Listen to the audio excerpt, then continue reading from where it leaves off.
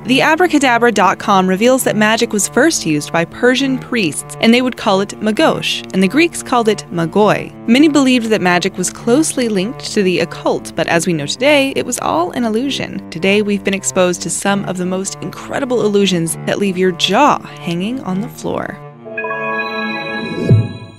Number 17. Smoke and Mirrors. David Copperfield is one of the most famous magicians of all time, and in 1983, he made the Statue of Liberty disappear completely. So, how did he manage to do that? Well, there are two theories to this one. First one, he placed a giant screen in front of the statue, turned off all the lights that usually shine on her, and left the spotlights on. When the screen was dropped, the statue had disappeared. The audience were temporarily blinded by the spotlights, and it only appeared as a hollow space, although the statue hadn't moved an inch. The reason why we're able to know this information is that intellectual property doesn't cover magic tricks. The second theory is this the audience were standing on a giant lazy Susan and were slowly rotated to the empty space where they believed the statue should have been. Because it was nighttime, it wasn't noticeable that they were being moved. Which one do you think is more plausible?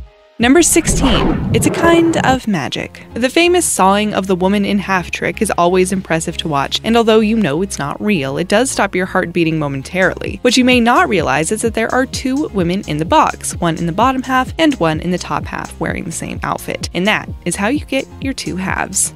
Number 15. All Hocus Pocus. This is one that you could easily attempt yourself. Bending a spoon. No, it doesn't take incredible mind power, but rather a little manipulation before your big moment. When you're about to marvel people with your incredible spoon bending skills, you should already have pre cut your spoon. Then tap it on the glass to prove that it is, in fact, a real spoon, and then simply use your thumb to bend it. You'll be the life of the party.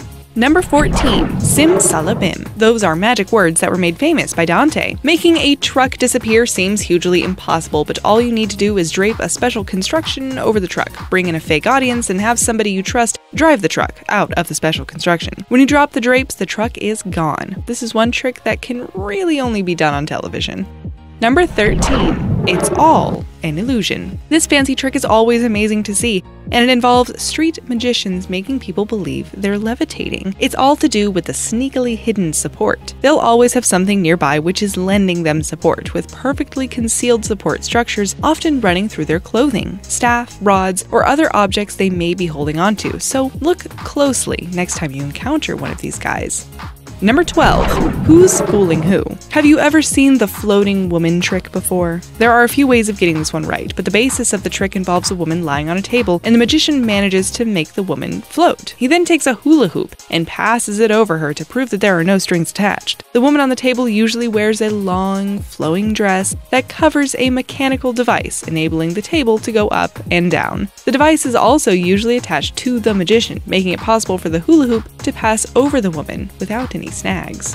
Number 11. Every little thing she does is magic. There's quite a clever trick which sees magicians or illusionists, as many like to be called, move their hand through a mirror or glass. Firstly, it has a lot to do with angles because a moving mirror is quite hard to notice when placed at a certain angle. When the show starts, there's a mechanism that moves the real mirror to the back and brings forward two fake mirror panels. Now, space has been made to accommodate a hand going through. When the trick is over, the real mirror is shifted to the front again, making it seem like the impossible has been achieved.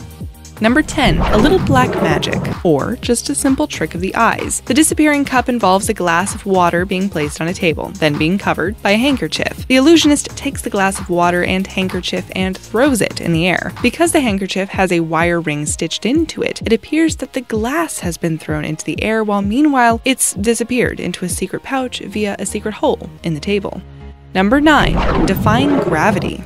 He may be gone, but he will never be forgotten. Michael Jackson used to do this amazing trick on stage that made it look like he was able to defy gravity. The only thing he defied was our imagination, because he was able to do those insane leans thanks to custom made shoes that were hooked to a nail on stage. When he was hooked in, he could lean very far forward, making it look like gravity meant nothing to him.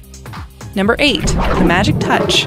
Walking on water, as we are all aware, is physically impossible. Anyone performing this trick is most certainly pulling the wool over your eyes. You'll note that when the trick is performed, it's usually on top of muddy waters or man made bodies of water, like a swimming pool. Before the magician pulls off this stunt, a clear plastic platform has been placed into the water, making walking across it a breeze.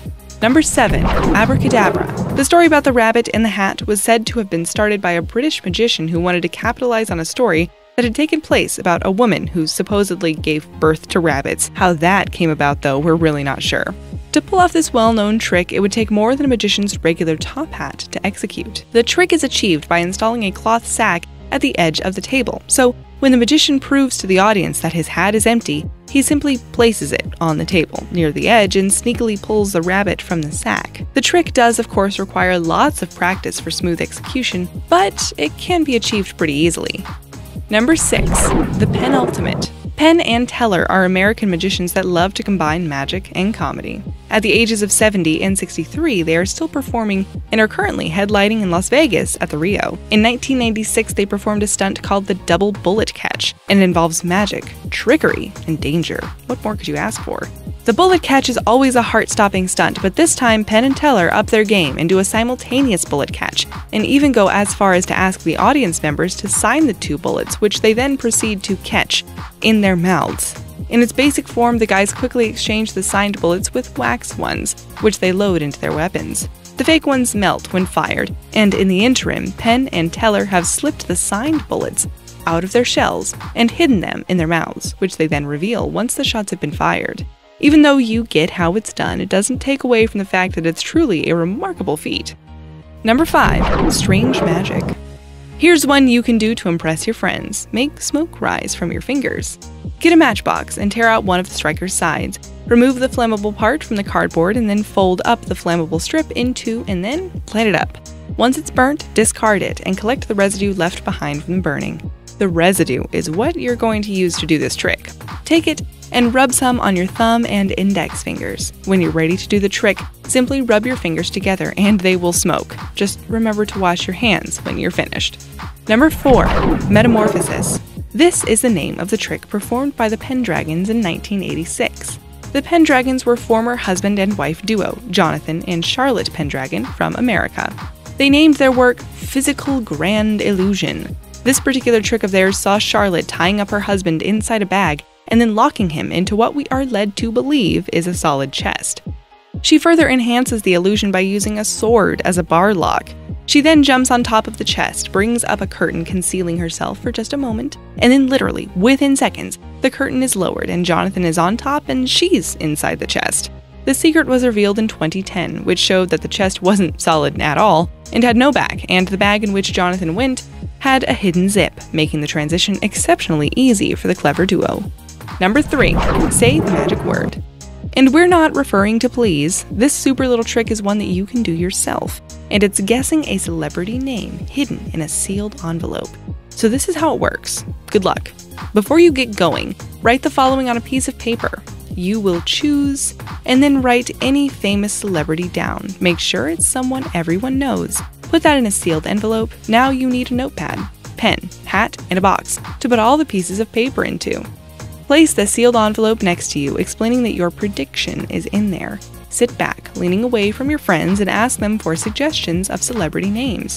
When you hear the names, pretend to write it down. But instead of writing their suggestion, write the name you put in the envelope on every single piece of paper. Once you've got all your names in the hat, then call someone up to choose one of the folded pieces of paper. It will inevitably be the same name as the one you put in the envelope. Number 2. Wave your magic wand. Here's another David Copperfield illusion that had audiences on the edge of their seats. The death saw was basically a more elaborate version of the earlier trick we mentioned, sawing a woman in half. Copperfield would lie down on the table with a box covering him for a few moments. What you're unable to see is that there is room for his legs below him, and there's an assistant's body on the other side, making it appear as if Copperfield is lying fully across. Add a few blood curdling screams to the mix, the saw slicing its way through the box, and you have a trick that will leave audiences in absolute shock and awe. Number 1 Works like a charm. Harry Houdini is still one of the most remarkable magicians of all time. He was known for his Chinese water torture cell trick, which he first performed in 1912 in Germany.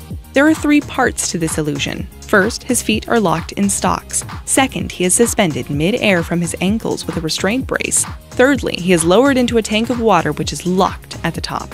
The trick is not without risk, but while the assistants padlock the lid, they sneakily remove the pin from the hinges so that it can be pushed open with Houdini's feet. Well placed keys are also available and the restraints are rather loose. This clever trick has been recreated by several magicians since. What is your favorite magic trick? Do you know one we didn't include? Tell us about it in the comments below and subscribe to our channel for more daily videos. Thanks for watching.